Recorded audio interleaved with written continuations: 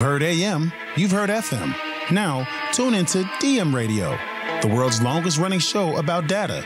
Each week, host Eric Kavanagh interviews the brightest minds in the world of information management.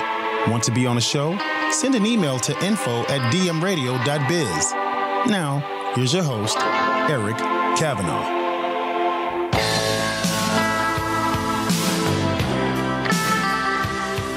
All right, ladies and gentlemen, hello and welcome back once again to the longest running show in the world about data. It's called DM Radio. Yours truly, Eric Kavanagh here with a couple experts on the topic of data fabric and data mesh. We'll be talking to Doug Kimball of OntoText, a longtime friend of mine, and Rex Ahlstrom from a company called Syniti, used to be called Back Office Associates. They've rebranded with a cooler name, I have to say. I think Syniti sounds cooler. It's like synergy and infinity all together. It's pretty good uh, pretty good concept they've woven together there. And we're talking about this very hot topic of data mesh. What is a data mesh? How can you build a data mesh? Well you start with the data fabric. So just very quickly for the benefit of our listening audience out there we've gone from data persisted in single databases to data in data warehouses pulled from all sorts of operational systems. This concept of a data lake came along, and then the lake house. So, the lake house architecture is the new hot thing to talk about, which really tries to combine the best of both worlds the best of data warehousing and the best of data lakes. So, data warehouses are fast, you can have a lot of concurrent users. It's for your certified, trusted data. A data lake is really for all kinds of different data at scale, lots and lots of data. And you had this whole concept of schema on read, meaning you didn't have to force data into a particular schema to load the data to get it up uh, in a warehouse somewhere. You just put it in your data lake. Well, we've learned all kinds of lessons throughout that time period. And then a lady named Zhamak Dehghani, uh, who is now with her own company, Next Data, she was with ThoughtWorks before, came out with this concept of data mesh. And the idea basically is to compartmentalize the management of data. So you have people in research and development or pe- people in marketing or people in accounting responsible for their own data responsible for their own information resources and then they share that via some controlled apis application program interfaces. So it's a it's a big vision. It's in the process of now being realized by any number of vendors. Lots of companies are talking about this. If you just do a search for data mesh you'll see like 15 companies advertising on top of data mesh. And that's because there is a recognition that this is a real practical approach to move forward to kind of solve some of these problems. Because when you try to centralize everything when you centralize management when you centralize the data in a single repository you get all kinds of issues. One you're trying to force everything into a particular schema. That can be a problem but two there's just a lot of sort of lag time. There becomes some political issues. There's all sorts of stuff that happens.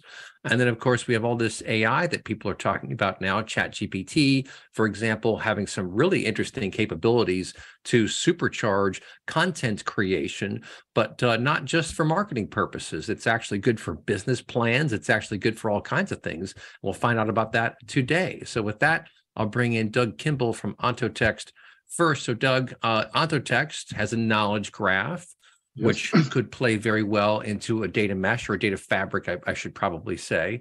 But tell us a bit about OntoText and what you folks are working on. Sure. You know, OntoText, we've been around about 20 years. If you've heard of GraphDB, uh, that is our baby. Uh, sometimes we're more well known for GraphDB than we are for our actual name. So, something that I'm working on changing. But yeah, we are a knowledge graph company. We've been doing knowledge graph, semantic knowledge graph technology for close to 20 years. Uh, we've got you know clients across the world doing different things with that, everything from financial services to life sciences. Um, what I think is really just neat about what it is that we do is this sheer applicability of knowledge graphs to pretty much any business or technical use case out there. Uh, one of the most challenging things I've found is that it is so universal, which makes sometimes explaining, I think, what a knowledge graph is and where it could play whether it's text analytics or semantic understanding or inferences or reasoning, there's a lot of power behind that. Um, so yeah, it's it's interesting, interesting technology for sure. And I love how you queue that up with, you know, looking at data fabric and decentralized data sources. Uh, if if I haven't had a company that has those problems, I'll be surprised. So yeah, that's, right. That's that's it. That's it in a nutshell. Obviously, we'll we'll get into more detail, but um, you know, I think it fits very well into your topics of data fabric support into data mesh. Yeah, and to kind of explain to our audience, uh, this concept of a graph database or graph technology is very different from a relational database, for example, or a traditional rows and columns type database. It, almost everyone in the business world knows Microsoft Excel. You've got rows and columns. You can have multiple tabs in a particular worksheet, for example, and you can have relationships between them. But it's a very specific view of the world. It's a tabular view of the world, as you say. Whereas with a graph database, you have typically nodes and edges, and the nodes t- tend to be entities. The edges tend to be characteristics of those entities. And so any node can have as many edges as there are characteristics to plot. And the reason why this matters, uh, if you think about search and what search did and what companies like Elasticsearch have done to be able to enable people in large organizations to get to a particular piece of data that they want. Well, everyone knows how to use Google, and now people are using ChatGPT in, in similar, but I think expanded and more enriched ways.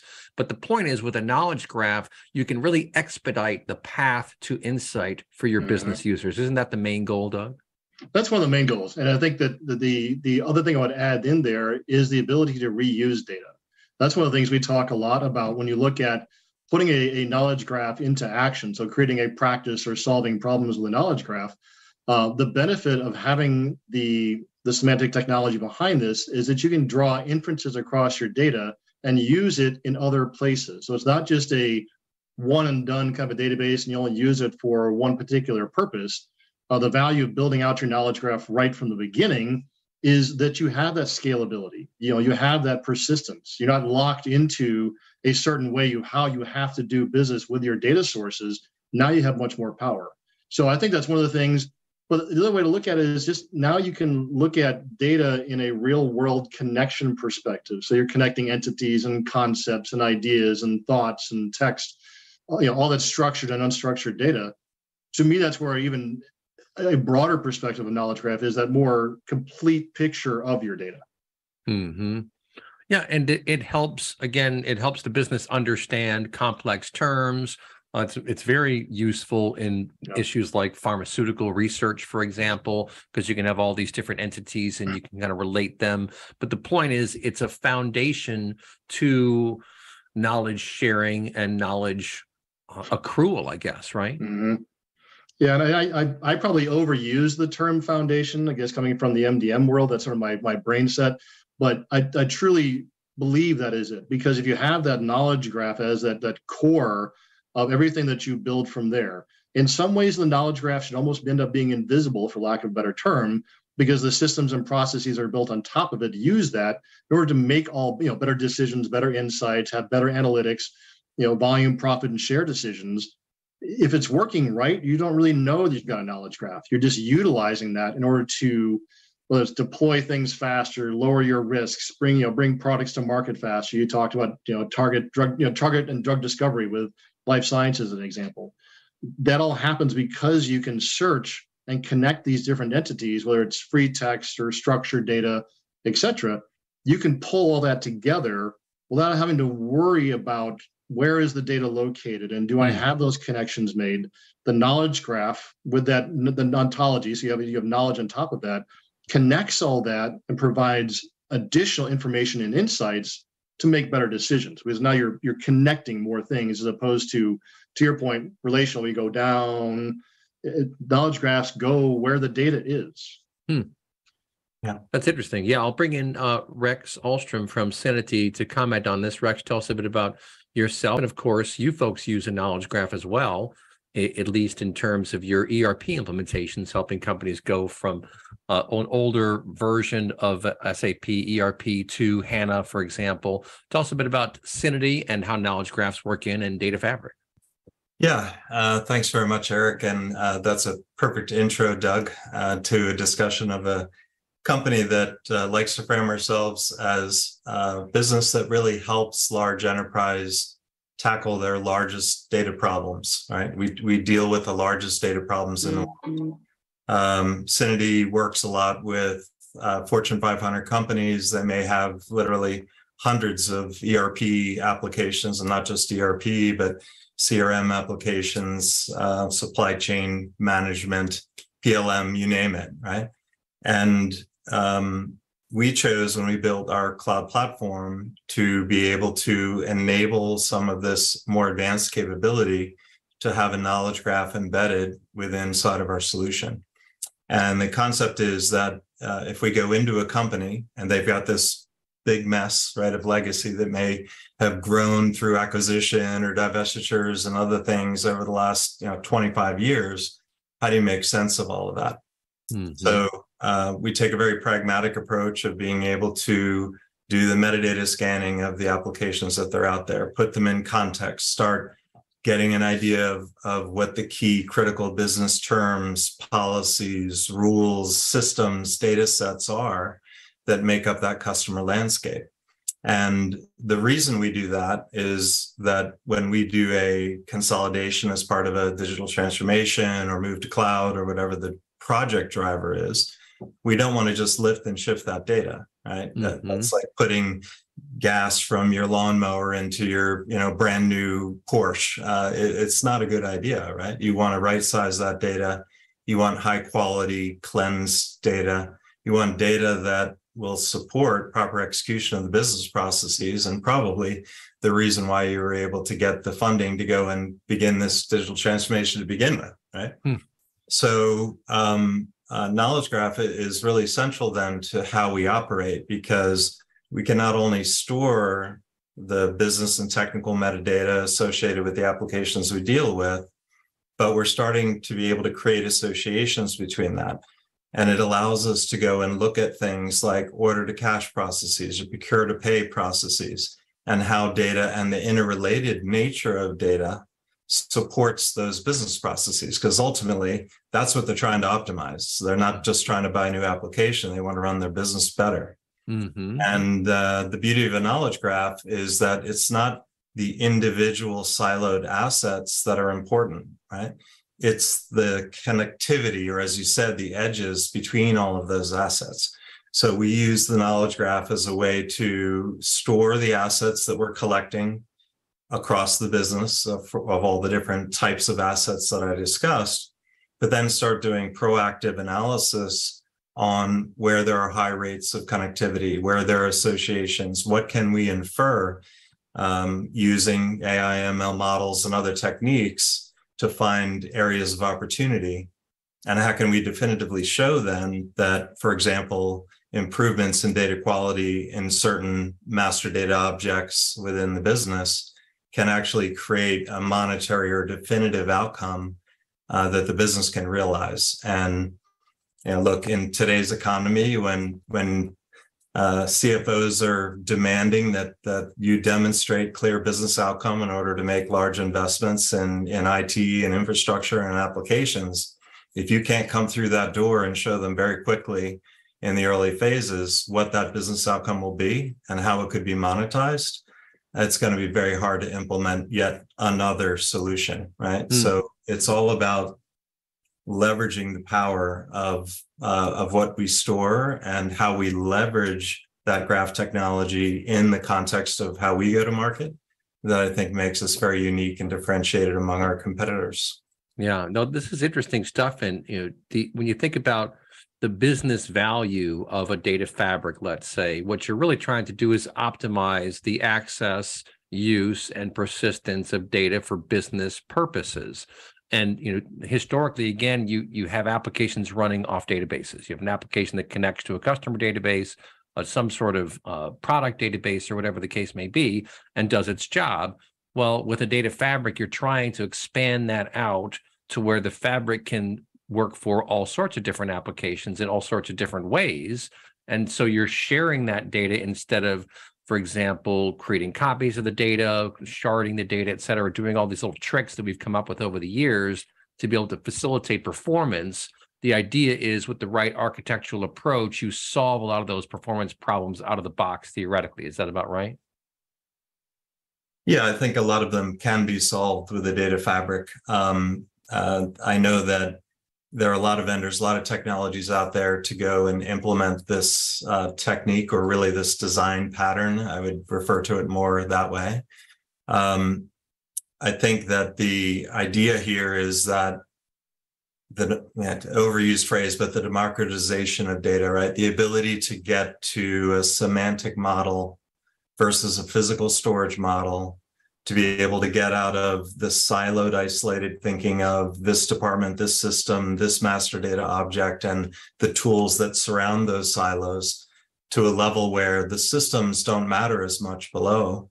Uh, what matters is that you have a consolidated view of information mm. and fuel and accelerate, whether it's an analytics program, uh, whether you're trying to get the right data to feed your AI ML model to make critical decision, uh, business decision uh, making, or even in the use of, uh, again, a, a very uh, popular phrase these days, generative AI. Mm-hmm. And um, it, it, we did this uh, at, at a recent show where we actually went to ChatGPT and we said, what is the best way to train a generative AI model? And it came back and said, graph technologies are ideal for being able to train generative AI because it has all of the associative information, not just the individual piece parts, right? So, um, you know, there are some interesting things that can be done once you adopt not only a graph uh, database, but are trying to implement uh, data fabrics where the generative AI or the automated components of a data fabric really come into play. Hmm. This is fascinating stuff. I mean, we are at this inflection point, and if you read Zhamak Dehghani's paper about data mesh, that's what she talks about, right? Is that this is an inflection point and how she's trying to learn some lessons from the operational world and apply them to the analytical world such that these teams can get the best value from their data while also sharing with other people, right? I mean, mm-hmm. silos, that's one of the huge issues that we run into. A lot of problems are caused because we have data silos. And then you're either copying data or, or copying little bits and pieces of data to move over here. And the second you've done that, you've opened a can of worms, right? I mean, you're you're now going to have to be able to track that stuff down you know we want governance we want audit trails all these things become extremely difficult if not impossible when you just start running copies of data everywhere that different people are using at different times right? So it's it's important i think and this is uh, it's just wild how this is all coming together right now with these chat gpt style large language models which are amazing which can do absolutely amazing things. We're just now beginning to understand what they can do, quite frankly. And, you know, some of the bad press around it has been, I think, misleading or at least misguided, talking about, oh, is it sentient? Is it going to take over the world? No, it's just trying to predict what it thinks you want based upon the text prompt that you give it. But folks, don't touch that dial. I'll be right back. You are listening to DM Radio.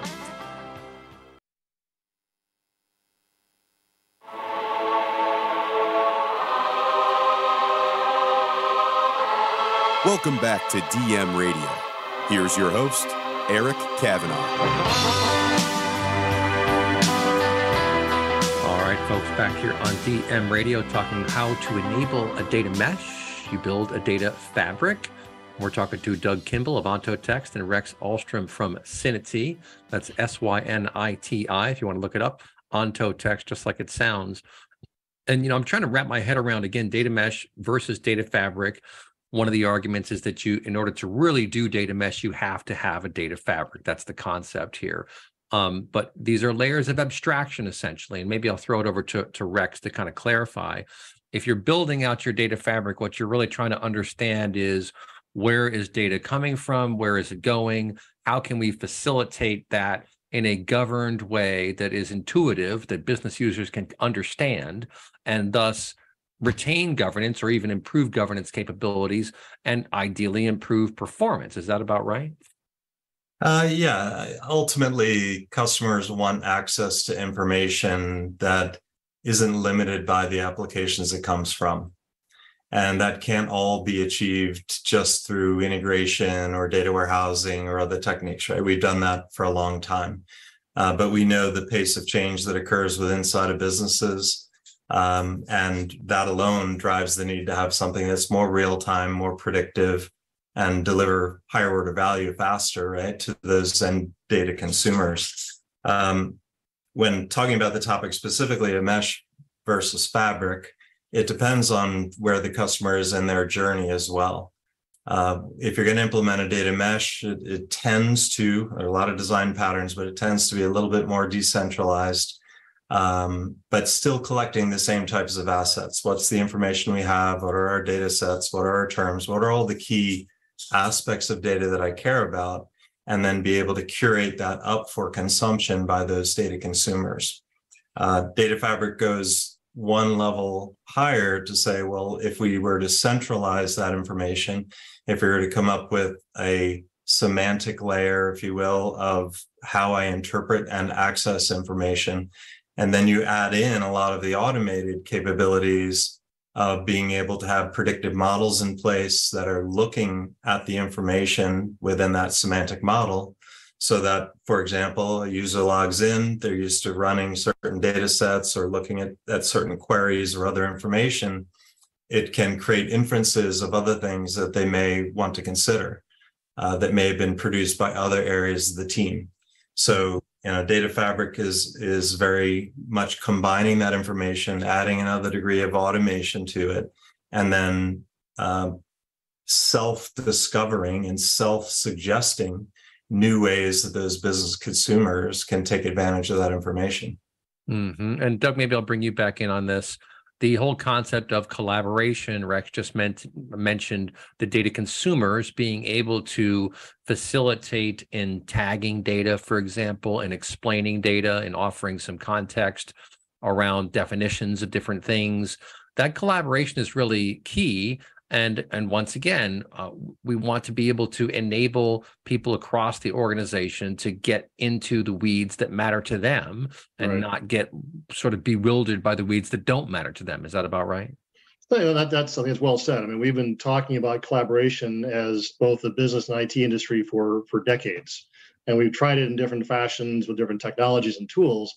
You know, I, I think the concept of data fabric with data mesh supported by knowledge graph gets us significantly closer than we've ever been. I mean, if you look at the ability, and Rex talked about, you know, applying that semantic layer. So now your data producers and your data consumers don't have to know the same things, but we apply that semantic layer on top so we have a a shared or collaborative understanding of the definitions of the data, the definitions of the the business things pieces. Now you're collaborating. So now we're actually getting value from all that data.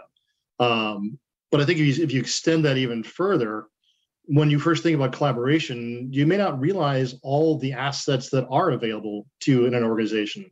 You know, we get so used to using the typical structured data; it goes in a certain fashion. But you know, I was reading an article someplace about the amount of unstructured data is almost 80% in an average organization. I maybe miss uh, off and off the number, the closer in there.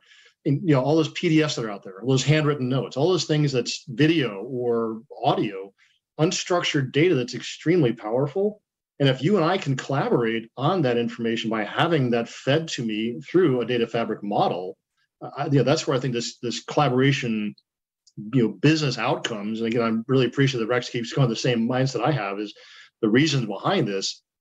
That's where the value continues to be. I think just outstanding. Hmm.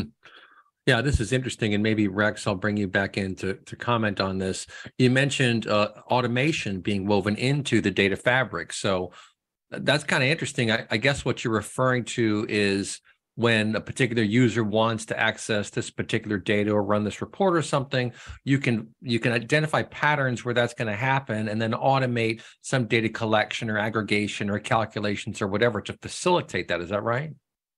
Yeah, it's really multiple levels of automation. So there's the you know, data caching and and making sure that that the responsiveness of the data fabric is is very high uh, based on because a lot of times we're dealing with large global enterprises right? Where are they in the world? Where does that data live? What what is the surface that they're uh, you know accessing the information or trying to access the information?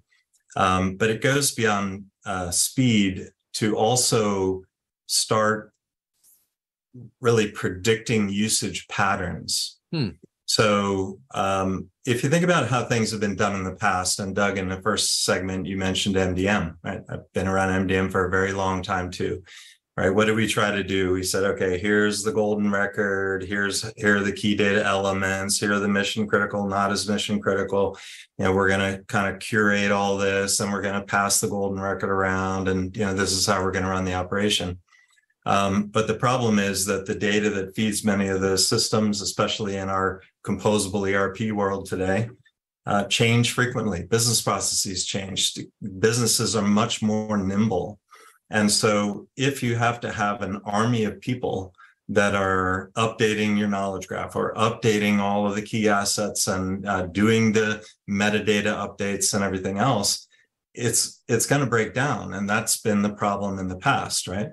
But newer types of technologies can be used to automate a lot of those processes from the metadata level to the integration level and now at that semantic level so that the system based on how people are using it can actually proactively update can predict new metadata that may have become available and if hmm. the machine can't determine its definition or viability it can surface it through workflows to knowledge workers that can validate or enhance that information so wow. you know data fabric becomes a much more of a proactive engine um, and requiring less human intervention uh, to keep it delivering that business value and and as Doug you said collaboration among business stakeholders.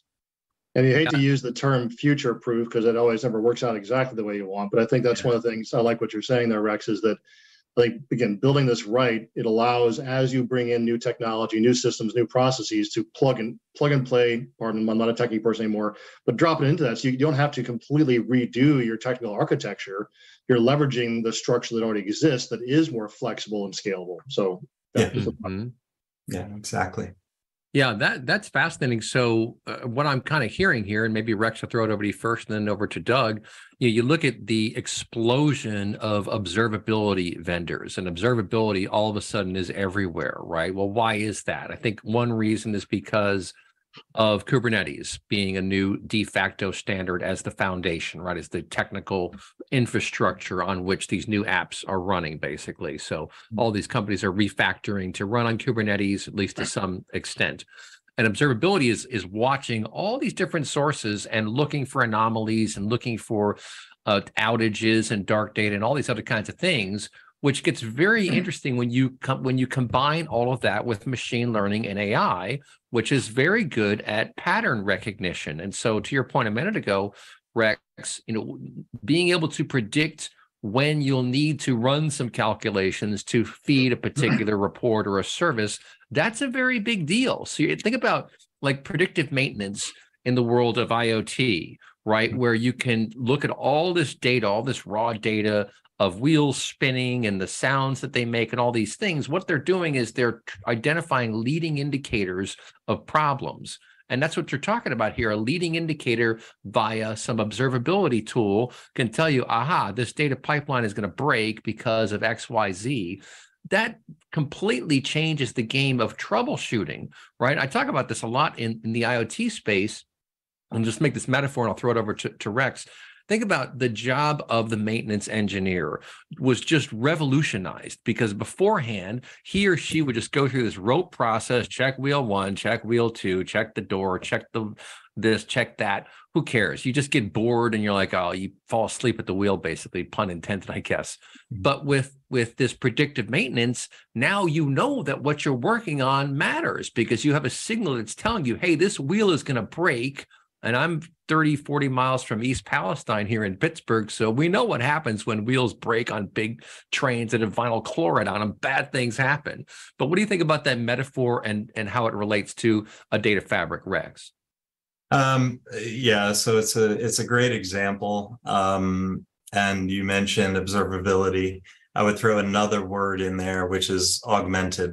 Mm-hmm. Um, you, yeah, pick your favorite analyst firm. It's hard to say the words that we used to know data quality, master data management, integration without now changing them that say augmented data quality, augmented master data management, augmented integration. Everything is augmented. And, and it's that concept, just like in predictive maintenance, that we're able to use the data artifacts that we can gather through many different types streaming, right. static, you name it uh, to be able to feed into models and to be able to provide predictive results. Um, I would take your example one step further, right? Predictive maintenance is awesome and it's made huge strides over the years. Uh, but think about the supply chain problem that also is sitting right next to it. So we've got predictive maintenance. Uh, we're a large enterprise. Um, some of these places, depending on the industry, could carry parts worth millions of dollars per part, right? So they're trying to optimize their maintenance and repair operation while also optimizing vendor spend, as well as um, uh, warehousing, storage, location, and availability right? So what we're talking about now is going beyond even just predictive maintenance to say, no, I'm going to optimize my entire supply chain. I'm going to make sure that I'm not paying for workers to show up and then find out they don't have a part, even though it's been predicted. And I'm going to um, reduce my cash spend and my inventory carry because I can optimize how that is uh, augmented by, there's that word, uh, by what we're predicting that we need from a maintenance perspective. So, right. yeah, this is where you really get the attention of the CFOs and others inside of these organizations because now we're no longer just talking about the particular business process we're optimizing. We're talking about real money, real cost to the business, and real optimization that ultimately impacts their competitive position and other things in the marketplace. Yeah. Not to mention well, things can... fail and what that means from a press perspective. It's if it's catastrophic enough. Well, sure, and you're you're getting out from behind the eight ball. I mean, I'll throw that one over to you, Doug. I think a lot of organizations, from a data perspective and analytics perspective, in many cases, they're behind the eight ball.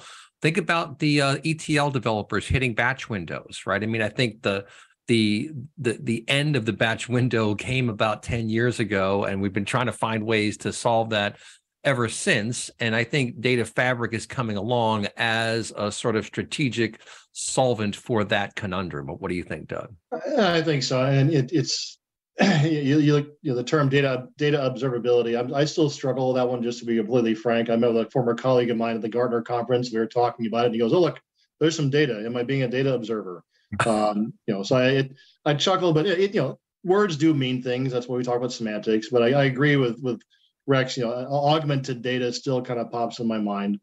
Uh, when you look at, and I'm glad you brought up IoT and supply chains. That's another area I got some experience and I'm passionate about. I think that's where what we're talking about those to the whole connections and you know any data any data in regardless of your format being able to be brought together. IoT and those sensors you put on production lines, just as an example from the supply chain side, you know, to really start to pull all that together, regardless of what type of sensor it is, what type of format it is, pull that all together so I can do predictive maintenance, prescriptive maintenance, all those things and now take that, you know, to Rex's point, augment that data so it becomes more valuable because now it's being shared and I'm not that guy walking around every 30 minutes checking a box. I'm getting information sent to me regardless of where I am, and it's all automated. That again, I think if you look at data observability, is we're using that kind of a data being connected with, and you you basically talk about predictions and inferences with additional information on top of it. Hey, we may, we recommend you go do X and Y and Z because it's powered by all that information within the knowledge graph and shared across the data fabric. So hmm. that's again the supply chain IoT piece. We could go another hour in that particular direction. I think it's fascinating. But I see this whole concept of interconnected information by data fabric applying so well to the supply chain, control towers looked on on everything that provide the direction and the, you know, the consistency and guidance. But having that, going back to the earlier conversation, that foundation of good data being shared, that's the right. start. Yeah, no, that's right. Well, folks, we'll get into the weeds a bit more in our next segment. We're talking to Doug Kimball of OntoText and Rex Ahlstrom from Syniti on DM Radio. We'll be right back. Don't touch that dial.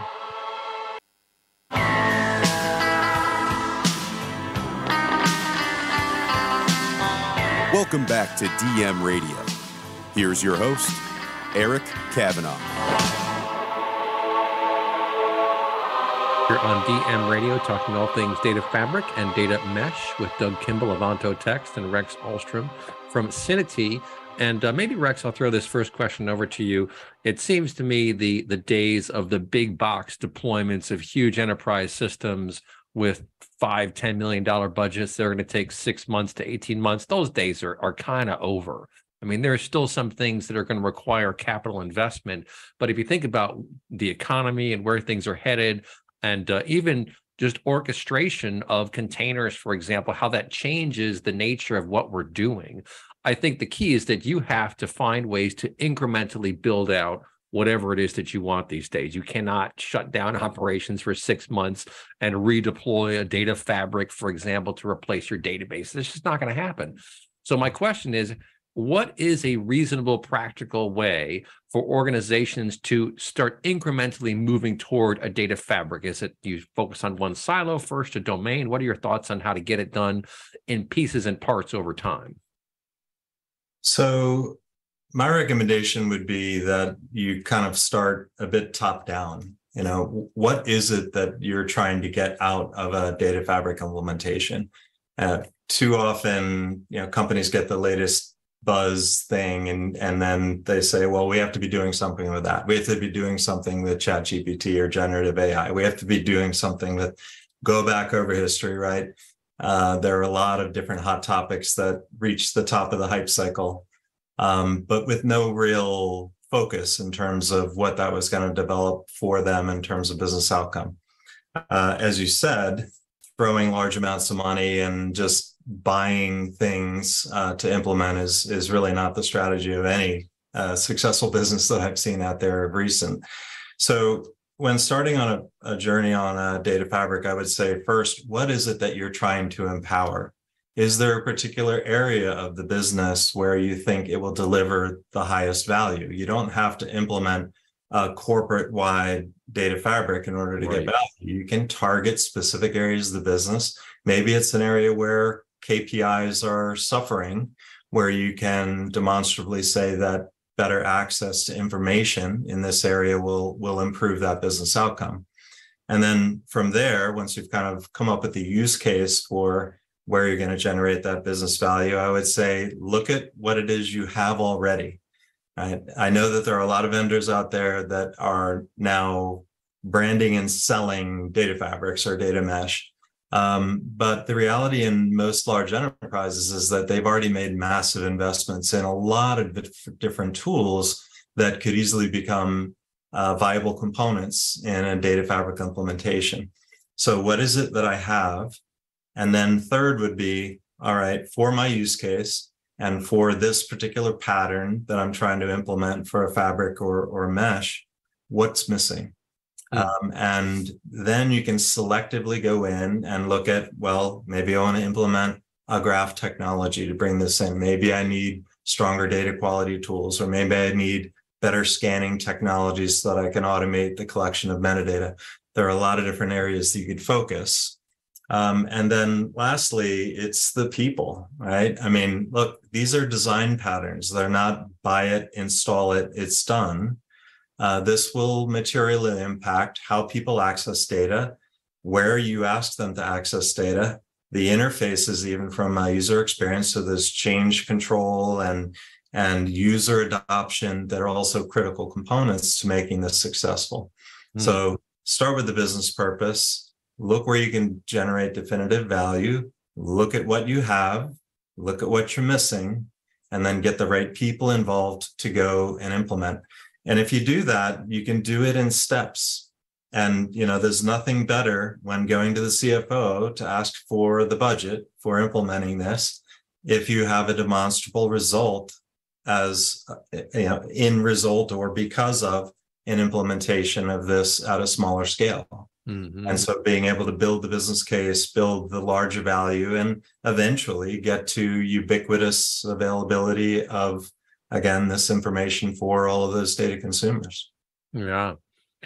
Yeah and this it, it's good in any number of domains whether it's in marketing or in finance or some other place but the key is to figure out where you're having trouble. I mean this is what consultants will tell you all the time in IT enterprise system conversations is where is the friction point? Where are things going wrong in the organization? Let's start there. Is it customer experience? Is it is it supply chain? Whatever the case may be, you look for the friction points. You look where there's pain, where people are complaining, basically, right, Doug?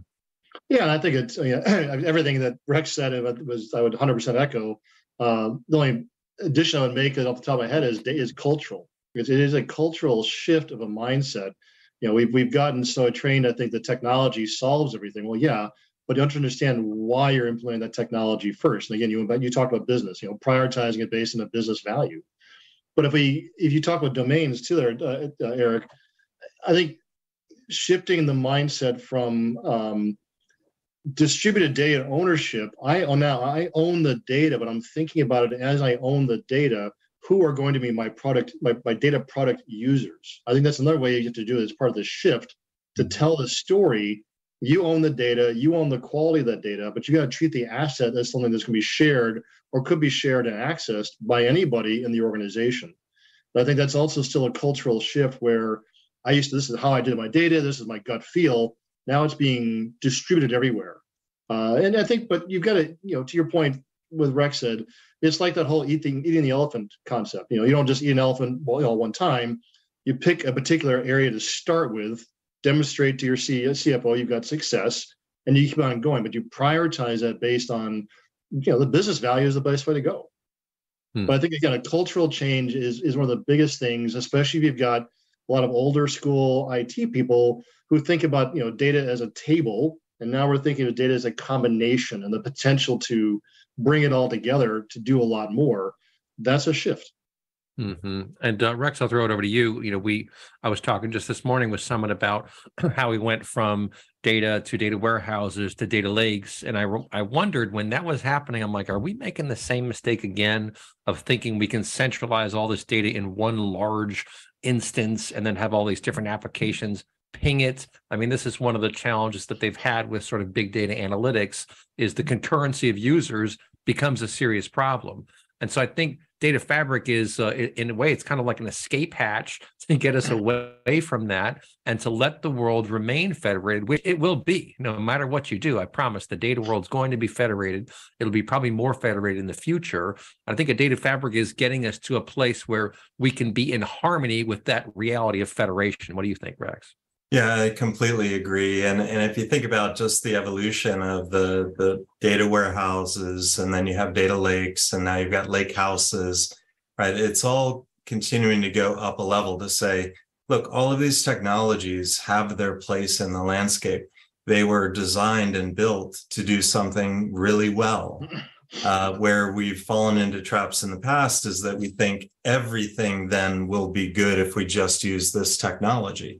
And so um, uh, the idea of a data fabric it, at a higher level is that you can abstract where that lives. You can you can add the components where it provides better performance or uh, localized data availability or fast query response. You know, the, the, there are a lot of technologies you can implement but if you can do that at an abstracted level, again, at that semantic level, mm-hmm. uh, then you're taking advantage of the power of all of those technologies while still giving the responsiveness and the access that people are are yearning for. Mm-hmm. Yeah, that makes a lot of sense. You know, there's uh, I've heard this comment a couple times on the shows. and I'll just throw it over maybe for Doug and then Rex to comment on before our podcast bonus segment is coming up. But there's this joke that uh, we always believe in information systems that one more layer of abstraction can solve all our problems right? Because you, you you get out of the weeds of a particular environment. Just think about uh, the fact that you can't see. I remember watching carl sagan talk about uh, two-dimensional creatures and if they're moving around and they're just in a two-dimensional world but if you pick one up like this, all of a sudden it's a third dimension. And that's what you hmm. can get from a layer of abstraction. Now you can look down at something that before was bewildering. It's like being able to look down on top of a labyrinth and go, oh, okay, take left, right, left, right, and you're out of the labyrinth, right? That's kind of what we're talking about here in a metaphorical sense. What do you think, Doug? Quick. Uh, you know, abstraction. I, I, mean, I always think about plumbing and having just had a plumber out to my house do a couple of fixes a couple of days ago. Um, you don't think about your plumbing until there's a problem. Right. And ideally, you don't want to think about your data plumbing or your data infrastructure, your data ecosystem. You just want to get stuff out of it, you know, whether it's right. water, or data, or insights. And I'm kind of I'm being very loosey goosey with it, but I mean, sometimes just a simplistic approach. We don't want to worry about the plumbing. We want to worry about the business results. Are we making the right decisions based on this, you know, this top-down three-dimensional view you're talking about? Um, you know it's you got an architecture that you're focused on not a software solution and you're trying to abstract going back to that what data can be used by everybody and not worry about the processes underneath it all And again, that's where I think a knowledge graph can, connect, can be the connectivity tissue. Yep. That is important. Yep, that's right. Well, folks, podcast bonus segment is up next. You are listening to DM Radio.